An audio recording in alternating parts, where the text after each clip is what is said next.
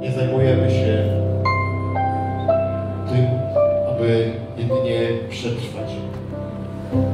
Jesteśmy ludźmi, którzy poselstwo Jezusa mówiące idźcie i czyńcie uczniami wszystkie narody potraktowały bardzo poważnie. Zrobiliśmy to bardzo poważnie. Jeżeli jeszcze w swoim sercu nie masz myśli apostolskiej, to pomóc się dziś do Boga i powiedz, Panie, chcę widzieć apostolskie.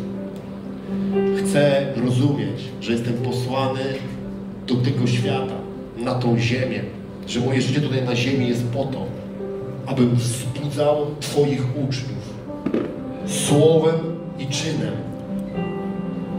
Chcę to rozumieć. Chcę widzieć swój kawałek apostolstwa. Swój kawałek. Jedni z Was będą jak ci ludzie jechać na misję, zakładać kościoły, budować. Inni będą zajmować się pomocą w lokalnych wspólnotach, będą bardzo silną siłą dla tych, którzy są na przedzie. Inni będą zarabiali duże pieniądze, aby ten cały interes się kręcił. Inni będą ewangelistami na ulicach, inni wśród biznesmenów, inni będą działać w internecie, inni będą malować obrazy namaszczone, które potem znajdą się w domach ludzi będą przyprowadzały do ludzi, ludzi do Jezusa w tych domach. Inni będą tworzyć pieśni, muzykę, grać, uwielbiać. Rozumiecie? Jedni z Was będą administratorami, inni z Was będą ludźmi uderzenia pierwszej linii. Ale apostolstwo musi być w Waszych sercach. Aby iść i czynić uczniami wszystkie narody. Rozumiecie, o czym mówię? To jest apostolstwo. Tworzenie. To tworzenie. To inny tor niż religia.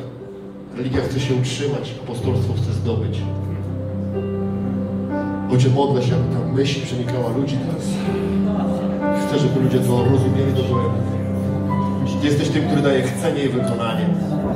Modlę się o to, Ojcze ludzie pragnęli w swoich sercach zająć swoje miejsce w apostolstwie, żeby znaleźli swój kawałek królestwa, za który będą odpowiadać całym swoim życiem, całym swoim sercem, całym swoim czasem i majątkiem.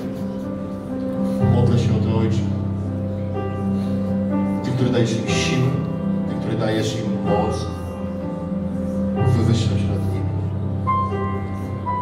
W imieniu Jezusa.